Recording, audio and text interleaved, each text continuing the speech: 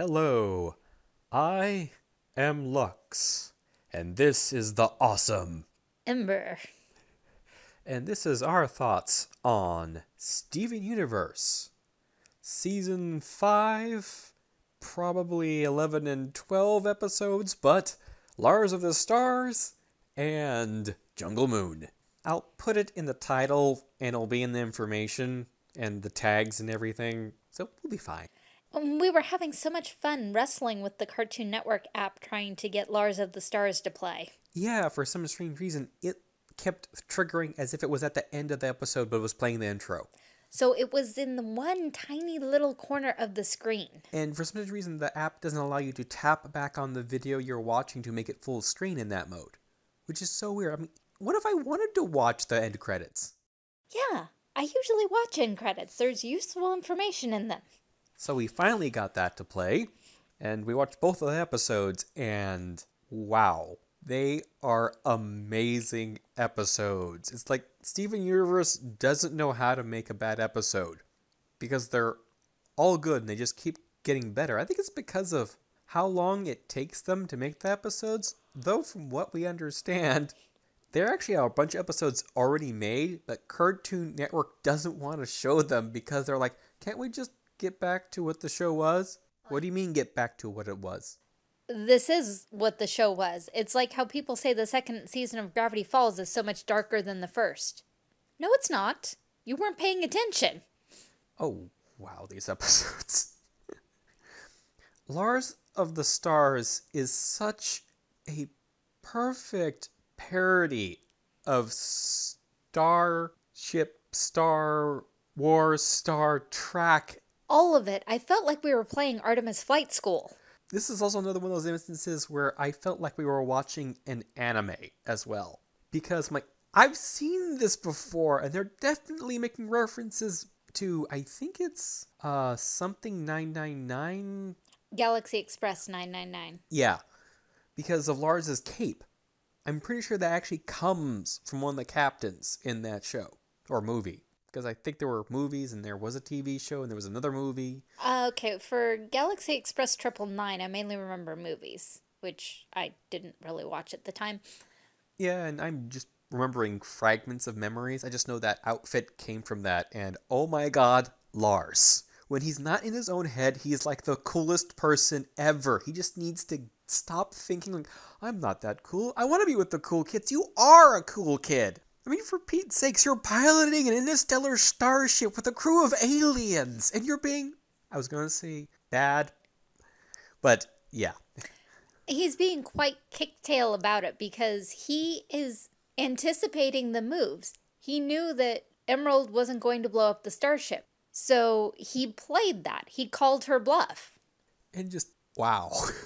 he also has so much self doubt and so much of a bad connection in his head with Sadie because of the whole thing he goes through in that episode of like, oh god, she's having so much fun without me. Was I the one preventing her from having fun? Now that I'm gone? Yeah, it's like now was I like somehow holding her back? Because even though what he was saying was like, I should be the one doing all this, I think internally he was going, oh my god, I've been such a horrible person, but on the outside, he's trying to cope with it, and that's why he's. Because he's not really that selfish of a person. He may seem like it, but that's because that's his point of view of what a cool person is. And when he's overthinking and trying to be cool, that's when he's a jerk. It's when he's not thinking, when he's acting calmly without running scenarios through his head 50 million times, that he's at his best. Steven and Connie did such a great job of pulling Lars out of that by pointing out, look at everything you've done. Did you do any of this to hurt Sadie? He's like, no, of course not. And they all go, because you're best friends. And there's the Stevonnie fusion with an updated hairstyle. To match Connie's. Mm-hmm. Also, I love how they like get you thinking, and because you love her. Yeah, because because your best friends. Oh.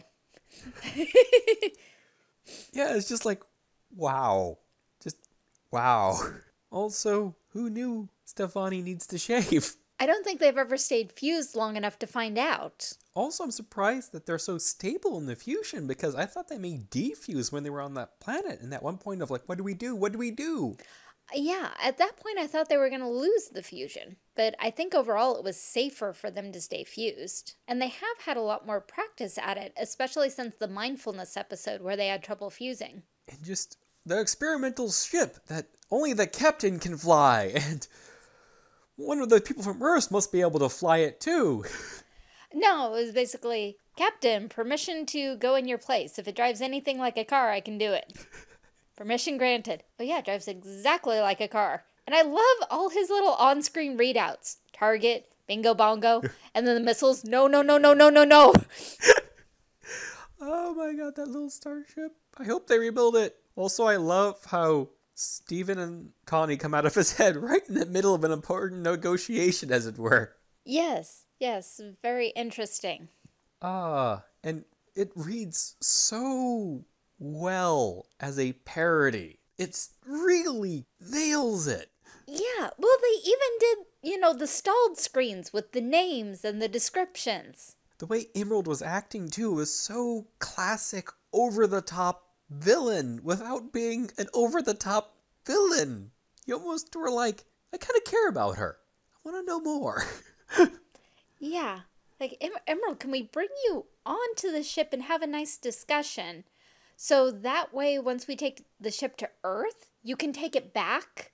Because we only need it to get there. We don't really need to keep it. We don't think we need to keep it. Maybe we need to keep it. At one point, I actually thought that they would end up back on Earth in that episode. Problem is bringing her with them. I thought that might happen too until we had the experimental fighter that only the captain can pilot. I'm like, well, there goes that theory.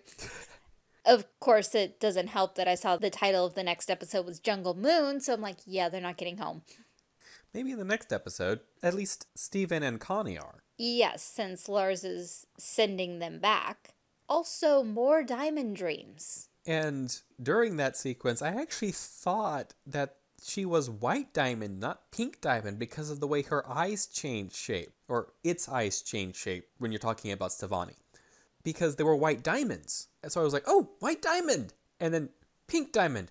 Oh, also pink diamond is the daughter of yellow diamond. Hmm. Possibly. We don't know how the diamonds were created. We know how the other gems are created in kindergartens, but we don't know where the diamonds themselves came from. But it was so interesting, the start of the dream sequence, because as Mrs. Maheshwaran was talking, like, that's Yellow Diamond. I wonder if they're actually the same voice actress. It could actually be with how these productions work. And it would actually work really well with that dream sequence, too. Yes, it would. And even if they're not the same voice actress, I think they pulled Yellow Diamond for that entire sequence because I was immediately going, that's Yellow Diamond. What? She's reacting to Stevonnie as a person, not as one of those human creatures, and not as a lesser gem like her pearl or her ruby or her sapphire. Even though the sapphires are technically nobility, they're still under the diamonds. And did you catch the pearl selfie? Yeah. I'm with Yellow Diamond. Snapchat that. Just to let you know, I have no idea how to use Snapchat. I haven't even been on the network. I've been thinking about dabbling in it because I hear it's a good place to share photos, you know, your art, but I'm like, eh. I heard it's kind of complicated and you can only really do it from the mobile app. I'm like, oh, okay. But back to the episodes. Yes, and continuing with the dream sequence, because I was like, Stevonnie's complaining and saying just as important as you. That's claiming diamond status. So I was like, we don't really have a personality profile of Pink Diamond, so this is very interesting. That sounds like early Pink Diamond might have been a little bit of a spoiled child. Mm-hmm. And I need to like go back and watch the like three or four frames where you actually get a clear look at Pink Diamond's face before she punches whatever is broken there, which I think that dream is actually taking place where Stevonnie is sleeping because she touches that glass, and I think that glass is what got broke.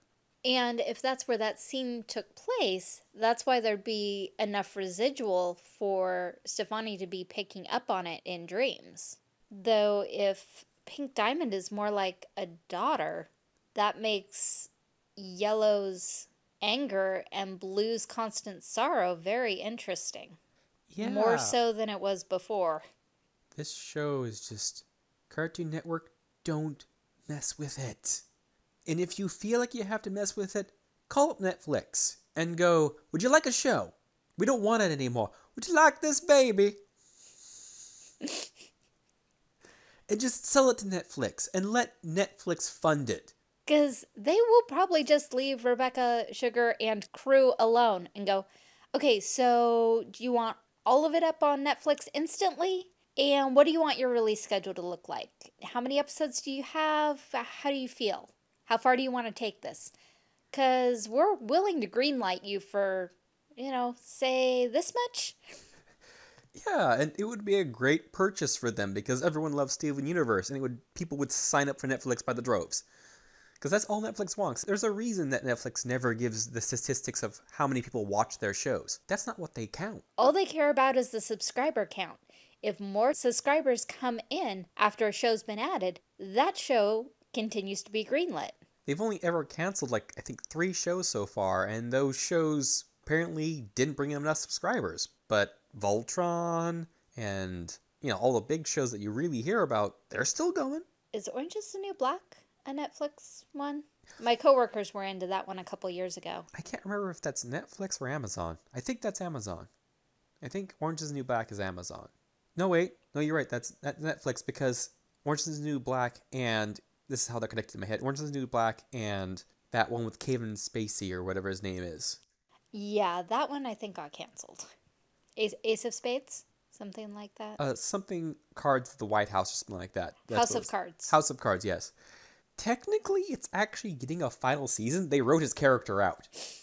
What's really funny is they were planning on wrapping up the show anyways. So, kind of okay timing. But yeah, Cartoon Network, you don't handle your shows well. Cartoon Network, please leave Steven Universe alone to do its thing. Go back to driving Teen Titan Go into the ground. Nobody cares about it. I bet you it's more parents than kids that are actually driving the ratings for Teen Titans Go right now. Because they go, oh, this is a stu- fun, stupid show. Sit down and watch this, kids. I'm going to go out and work. I bet you that's what's going on. Probably, because I remember when Cartoon Network used to have good shows, Yeah. Like the original Teen Titans, and Young Justice, and Pokemon. But tangenting back into Steven Universe. Oh, not just the dream, but that whole episode was another good one. I mean, shipwrecked on a strange planet. I love how, like, we have to survive. and my first thoughts when I'm on an alien planet is like, okay, what disease did I just get? Yeah, and what's gonna kill me? And how much of this is poisonous? Probably all of it. Dang. Because if you think about it, the moment you land on an alien planet, the moment you're out of your ship, you will die. Even if the atmosphere is exactly like Earth, there are pathogens on that planet that your body has no idea how to deal with. You will catch one and die. Even if it's the common cold on that planet, it will kill you. Because you have no defense. But no, they're able to eat the creature that's not poisonous, eat the fruit that's not poisonous, drink the water that's not tainted, not even with trace minerals that would be harmful to a human gem fusion.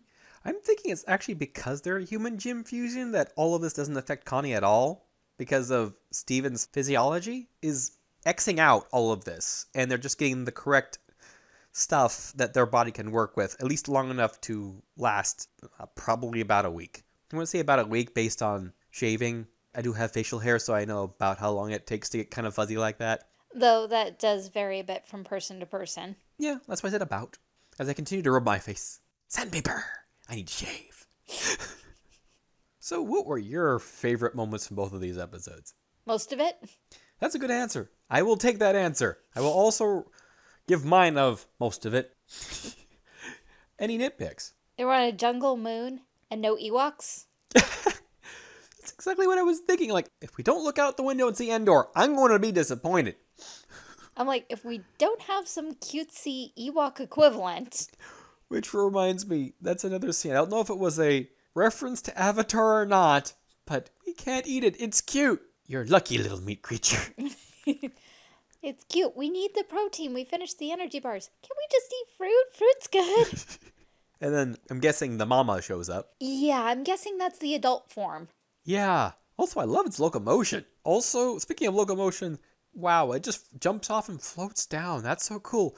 I wonder if they were referencing shows like, oh god, what were they? These were also like on the Cartoon Network a while ago as reruns before they moved everything over to Boomerang.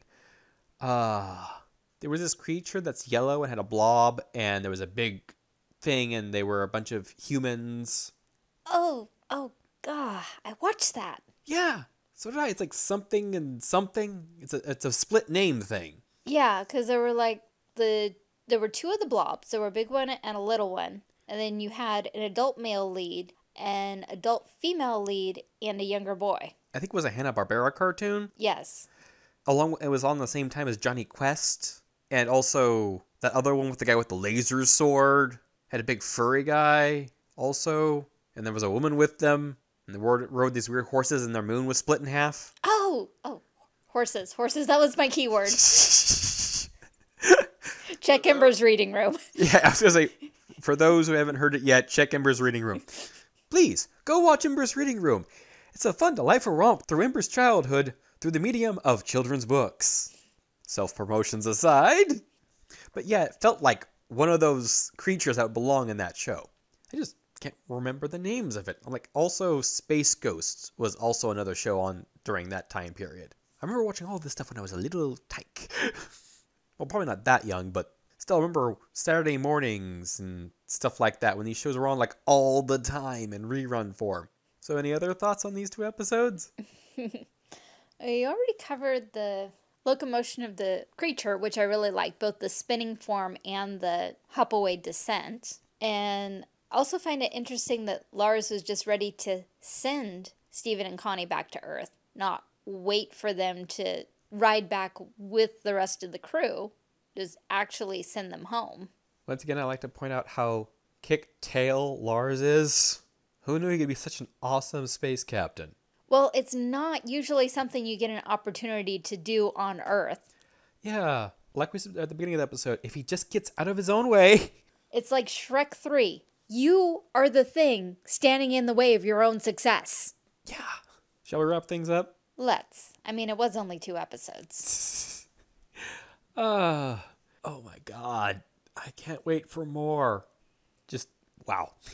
We can because free time does not exist. Yeah, just the perfection of these two episodes. I know they're not actually perfect, but they were just did it so well. No, they did a lot of things that were right and that were good. I bet if we matched it up with that magic parabola, it hit a lot of spots. Because it was very satisfying, even though we don't have much of a resolution. We have a resolution, but we don't really have a resolution. Because they're not taking Lars home. They got to see Lars. They're going to be able to update his parents. But basically, they showed up, helped out in one dogfight, crash landed, had to be rescued, and now the captain's sending them home. Ooh, I love this show. Outro. Outro. And this has been our thoughts on Steven Universe, Season 5, episode numbers something and something, Lars of the Stars, and Jungle Moon. I just love the way that sounds. Lars of the Stars. Yeah, yeah, rhymes are very seductive, and the English language has so few of them. Thank you for listening. If you enjoyed this, like, subscribe, share. Sharing helps a lot. We like to be liked. It- It's nice to be liked. Uh, comments? We're, we're still small enough that we managed to answer most of them. I'm sorry for those I haven't answered yet. I only have so much time and there's so much I want to tell. Enjoy Lux's art. You can find more of it on Tumblr, Twitter, DeviantArt, Reddit, Facebook, Google Plus, wherever we can find to cram it on the internet. The internet has lots of space for stuff. Hello. Hello. Hello. Rumi. Uh, enjoy Lux's art and would like some of your own? you know, he does that kind of thing. There's a commission link down there with uh, pricing and availability. Uh, been told the pricing is reasonable. Availability, the reasonable of the that varies. You know, life and all. Uh, uh, uh, don't throw quarters at your screen. It might break. Please, please don't. I heard LCDs can be very temperamental. I, I, I appreciate the money, but because of the medium we're working in, we, we can only accept it in electronic form. Well, we have two vehicles for that, so please put the quarters back in your pocket. Uh, for those who are willing to have a monthly deduction out of their electronic money accounts, we have a Patreon where Lux posts art. Yeah, that's what he does. I mean, come on. At the $1 level, you get monthly quick sketches with the right to provide input on what those future sketches should be. Higher tiers get you high quality drawings that took a little more time. No, no, no, no, don't go. We, we have the non commitment version too. Remember, I said there's two vehicles. So there's also a Ko-fi, not to be confused with Kofi from Fish Stew Pizza. And that takes PayPal and it's $3. Ko-fi doesn't Ko-fi doesn't take a cut and one time no commitment, you can walk away afterwards. Thank you again.